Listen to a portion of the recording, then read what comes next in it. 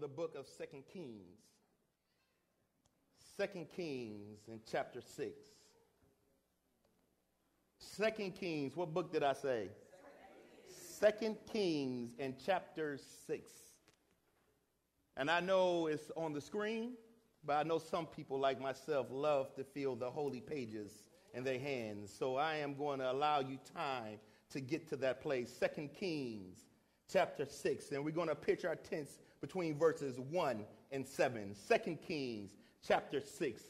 As you're turning, as you're turning, I have to tell you and confess that when I was asking the Lord about my situations, I always open the Bible and where I lay my eyes, the first place I lay my eyes, I feel that the Lord is speaking to me. So I opened my Bible and I laid my eyes on this scripture.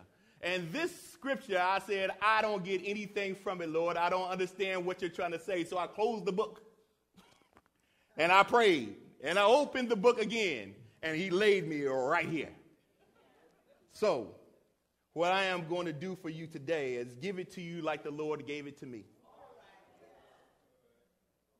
Second Kings chapter 6 verses 1 through 7 and the Bible reads that the sons of the prophets said to Elijah, please notice that the place where you where, where we live under your supervision is too small for us. Please let us go to the Jordan where we can each get a log and can build ourselves a place to live there. Go, he said. Then one said, Please come with your servants. I will come, he answered.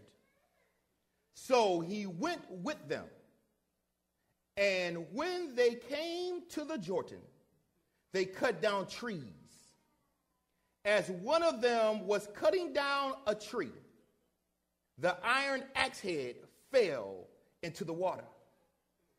And he cried out, Oh, my master, it was borrowed. Then the man of God asked, Where did it fall? And when he showed him the place, the man of God cut a stick, threw it there, and made the iron float. Then he said, Pick it up. So he reached out and he took it. Please let us pray as we pray over the topic I have an axe to grind. Our Father and our God, this is your time. I can only give what you have given me. So I thank you, Lord, for choosing me at this time. And I'm asking, Lord, that as I have gotten the lesson out of this, that so your people will hear a word from you. In Jesus' name, we pray. Amen. An axe to grind is a, is a statement or a slogan or a saying. It's to have a grievance with someone, especially where one feels the need to seek damaging retribution. The phrase probably originates from the act of sharpening an axe with a grinding wheel with the intent to get revenge on someone by maiming or killing them. An axe to grind.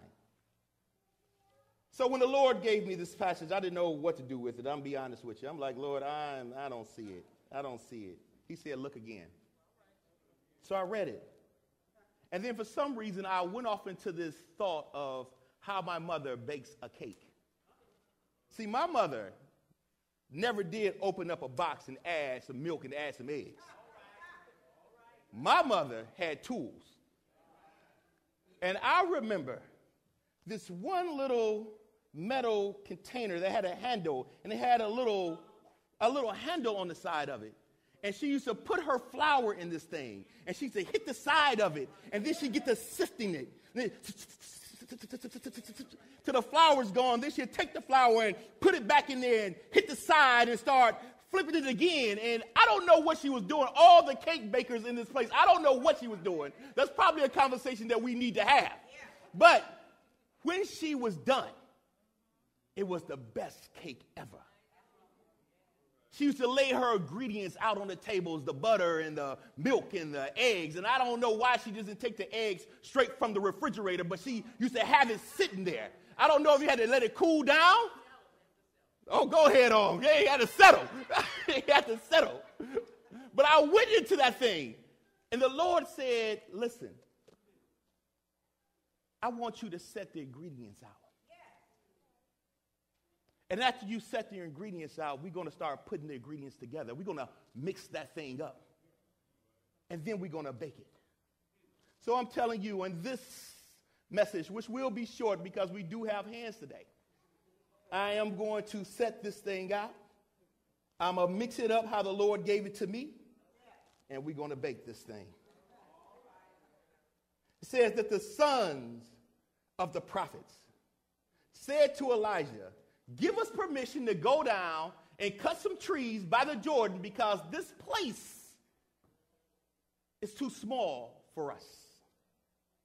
First, we have to identify who is the sons of prophets. Historians say that the sons of prophets, the sons of prophets were chosen by God to minister to the people, especially of Judea and of Bethel. The reason why he chose these sons of prophets, these special men, was because the Levites and the priests of that day were so corrupt that the people could not see the movements of God. Some commentaries say that in this very corrupt time, God did not wholly forsake the Israelites, but he continued a school of prophets among them, which will be trained up and employed in the ways of the temple. That in spite of the rejection of holy or righteous ways, God, in a time where man did things that seemed right in their own eyes, you know, when backroom deals were cut, when it was hard to see the line between world business and church business, when it was when, when, when, when the lines were blurred, God said he still reserved a people that was still shut out from the top of their voice that this is the way of the Lord. Follow him and he will direct your path. It's in this time that God set a people aside. And for me, I was like, okay. He said, listen, set the ingredients out. When Moses delivered, when Moses took the people out of Egypt, he formed them in bloodlines. And the Levites, the Levites were supposed to take care of the holy things of God. It was their strict responsibility. All things that took place in the temple was done by the Levites. And as time went on, here you run into the sons of prophets who, despite how corrupt the world was, they then took on the role of taking care of the things in the temple. As we go on through history, we realize that the disciples was given the commission to take care of the holy things of God. After Christ died, that was passed on to both Jew and Gentile, and they called them Christians. I'm just setting the table. Christians are supposed to take on the same role. But the Lord showed me, Maurice, I want you to see how the different groups may have changed in name and diversity, but the principles remain the same. So even in 2000, 2016, Christians are supposed to still take on the role of ushering in the holy men of God. See, the Levites' duties was to not only protect, but also prepare the way, especially in the temple of the east gate. The east gate was where the holy priest, the high priest, walked in. That's when he administered and he started doing all the ministries that was needed to save and forgive the sins of the people here today in 2016, there is a high priest that is still coming back for his people. And we have been given the commission, we have been given the duty to prepare and protect the east gate.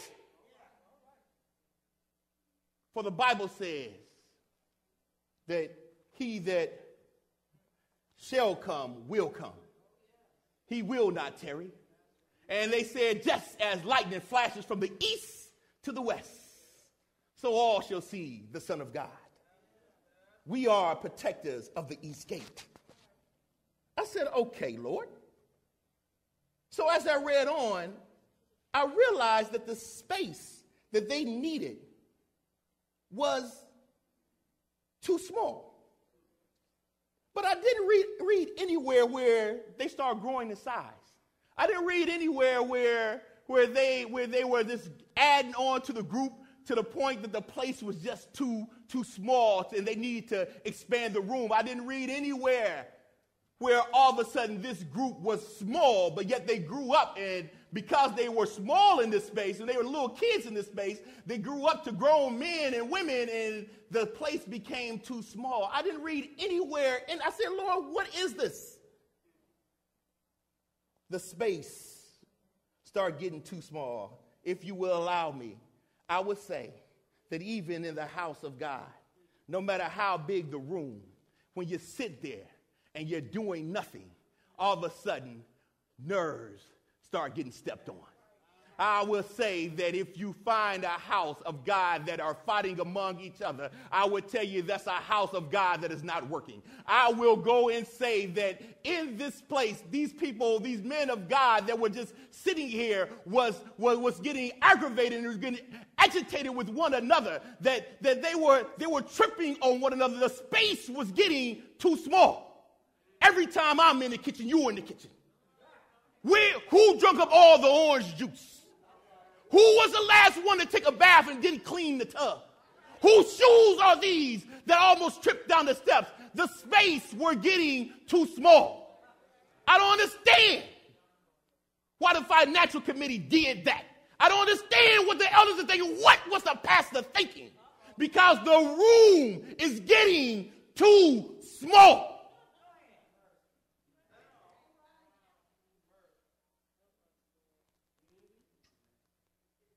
So they said, Let us go to the Jordan, cut out some beams that we may build a space for ourselves.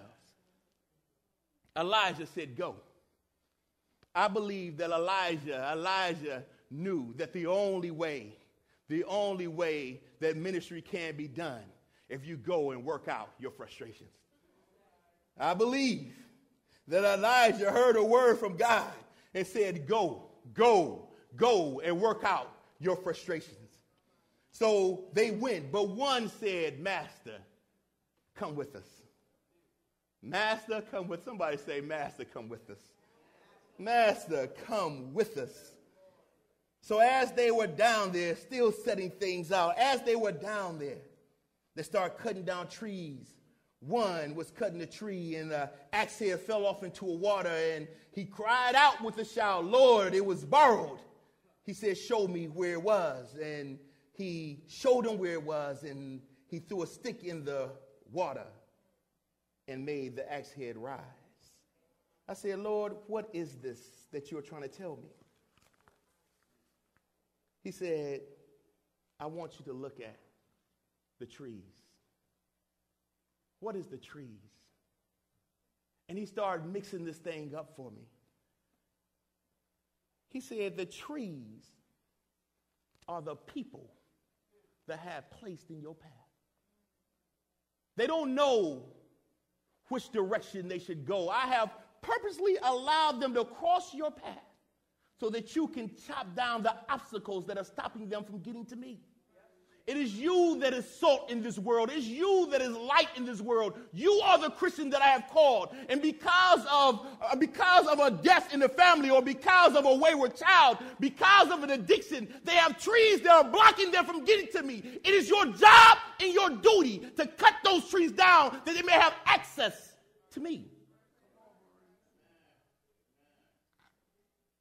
But in the process, you know how it was when you first saw the light. You know how it was when God first came to you. You know that sermon, you know that song, you know that situation. When God first visits you and you say, Lord, I am wholly yours. Use me. That moment, that moment, that moment, you declare that I will do your bidding. You declare the Lord, whatever you say, I will do. Wherever you send me, I will go. I am yours. I am all yours. You said that.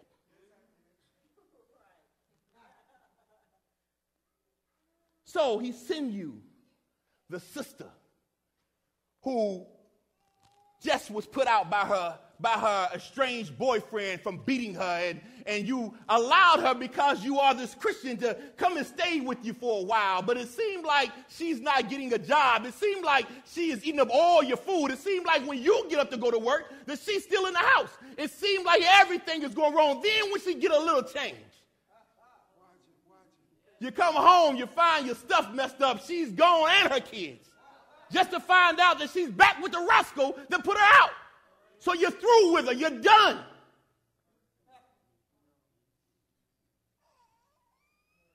God said, God said that I have placed them in your path. These are the trees. But what were the trees to do? The trees were made for beams. The King James Version says that they asked him to cut out beams, beams, so they can build room and space. These beams had to be made, they had to be fashioned. When you cut the tree down, you had to then peel the bark. When you peel the bark, you had to take off all the notches. Then when you peel it, you have to make it smooth. You have to make it usable. He said, Work with my children. Work with my children.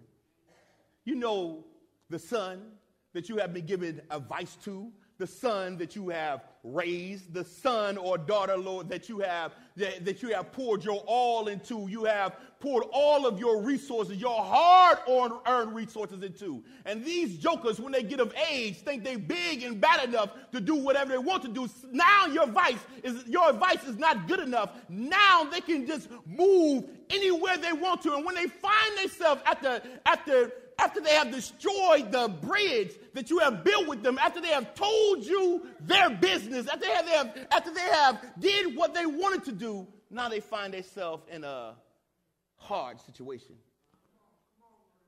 You want to say, I told you so. You want to say, forget that. You want to say, let them, let them learn. But these are trees that God has placed in your path. You, you, Christian, you, the one that's supposed to take on the duties of the Lord. You, you, the one who was who asked for the assignment. God showed you an encounter with him, and you said, I want to be yours. So he said, if you want to be mine, it comes with something. And he gave you an assignment. But because it's not panning out the way that you thought it was going to pan out, Maurice, because you have set your own things in place and realized that the things that you have set in place was not the right thing. Now, you want to just throw it all away. But you said that I'll be wholly yours. You asked me to direct your path, I directed it. You asked me to save you, I'm saving you. All the things that you asked me to do, I have held to the promise. You, you said that you would take on these duties. And like you want to hold God accountable, He must also hold you accountable. That's the deal. That's the deal. So these trees, these trees that they're cutting down and fashioning into beams, were people that set in our path. But then I said, so what's up with the axe head? I mean, he lost the axe head in the water. What, what's up with the axe head? The axe head, the axe head was the ability that he has given you, the tools that he has shown you, the tools he have he, he, he has gifted to you to do the work that he expects you to do. That axe head. Let me mix this thing on up. Oftentimes, and I have to talk about me because it was about me, so forgive me, not being selfish, but sharing you my testimony. Every time that I try to do things, I claim that it was because the Lord is telling me to do it. But sometimes I have to admit, if I'm going to be, if I'm going to be, be serious about this thing, I have to admit that sometimes I see it and I say, you know what? It'd be best done this way. I don't see the Lord really working in. I don't see him really intervening. I don't see him really doing what I asked him to do. So I'm going to help him along. And when I help him along, I always find myself in a rut. I always find myself with my back against the wall and opposition's coming at me at all sides. So the Lord said, the Lord said, Maurice, you have found yourself in a situation where you need more space.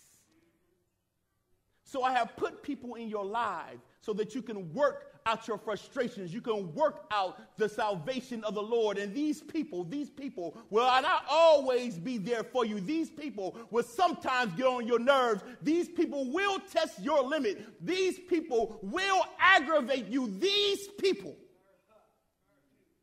will suck you dry of your resources. These people. But I placed them there so that you can bear your cross. You know, the Bible says that we should every day bear our cross. We should pick up a cross every day. And you know, sometimes, and, and, and I was taught that these are struggles in my life, that these are barriers that, that, that, that, seem to block me from getting to God, that these are situations that the Lord will put me in that will test my, my Christianity. If I can, I would tell you that that cross that you're bearing, what the Lord told me, that that cross that I'm bearing has nothing to do with me. That cross that I'm bearing that cross that I'm bearing and picking up every day is to take on the burdens of others. That that cross every day that I pick up will take on the burden, the burdens of my son, my daughter. Will take on the burdens of my neighbor that that, that, that, that seem to cuss me out every time she get a chance for no apparent reason. The, the, the burdens that I face has to deal with my brothers and sisters in the house of God that seem to always dog your footsteps, your burdens, that cross that you bear. Is to show others the love of Christ. For Christ already bared your cross. Back on Calvary, when he died for you and me, he, he, he made provisions for us. And when we signed up, he said that my grace is sufficient. He said that I have done a good work. He said that I have covered you. And if we are to be Christ's example, if we are to be Christ like, we must do the same. We must cover others. We must show others the way to salvation. We must show others how to get back to the master's house. For he told me, he said, Maurice, I have already prepared room for those who said that they were Christians. For the righteous, I have prepared rooms to my father's house. Since you want to be like me, you must show others the room that you must make for them.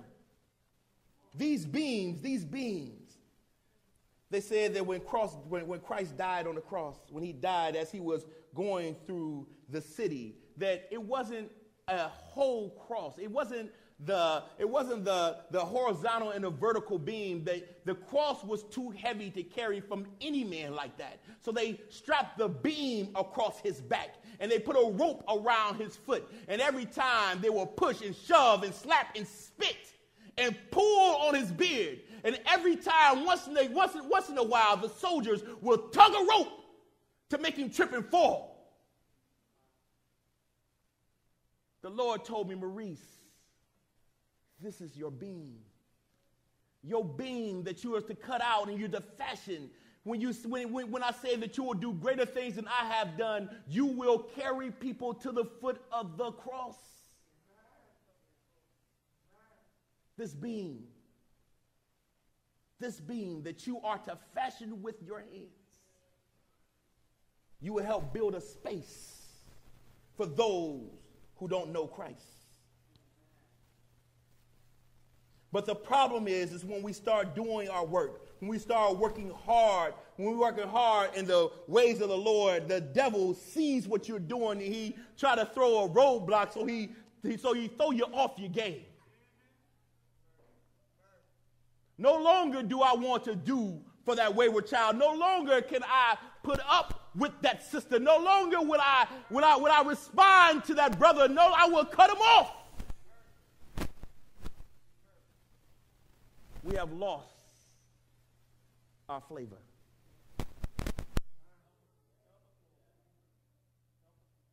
So he said, Maurice, you need to get back where you started. Well, how do I do it? The same way I gave you the first time. See, a lot of us think that when we cut somebody off, that, that we are through with them, as if it was our resources that was used to put them in a position to achieve, and they just and they just wasted our resources and, and, and we're through with them. I will dare to tell you today that it never belonged to you in the first place those resources that you think you have are borrowed. And God lent them to you that you may do a work for Him. So He told me, Maurice, though you think that you have lost it, I was there. You know, the funny thing about the story was when the man cried out after he lost the axe head, I never read that he was swinging the axe near Elijah. I never read, I never read that Elijah was by him. But what it said is that he cried out. And all of a sudden Elijah said, What's up?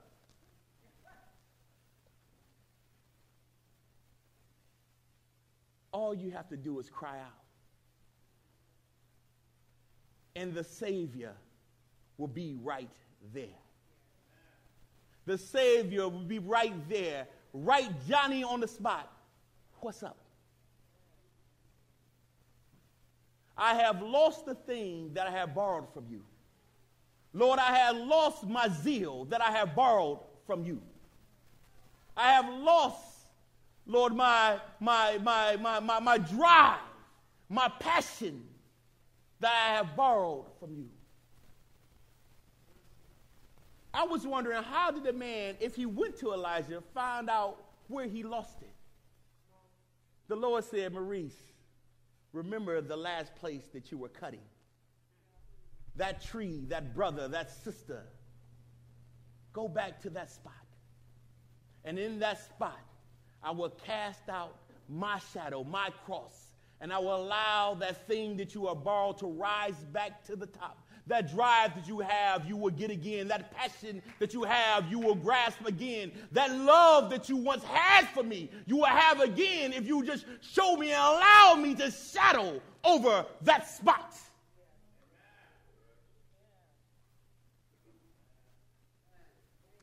In closing,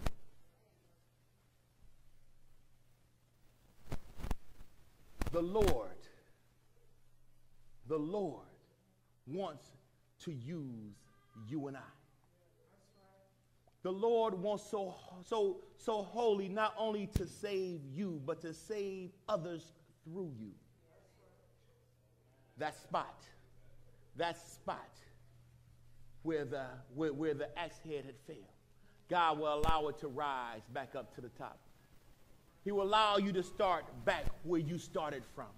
So I tell you this, as the Lord has told me, you must now go back to that brother, to that sister, to that first love, right where you first started, and continue the work.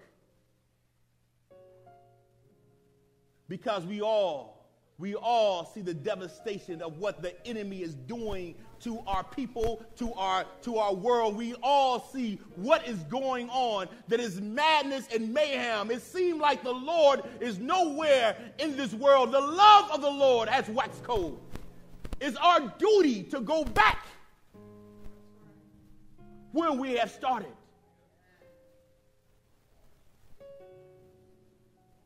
We must hate with a passion. We all have an axe, an axe to grind.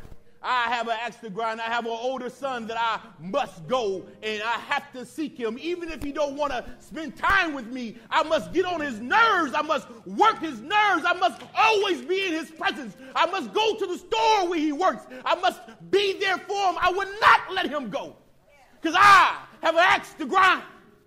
One day, one day, God is going to go to every last one of you and say, Where's my sheep that I have lent you? Where are they? We all have an axe to grind.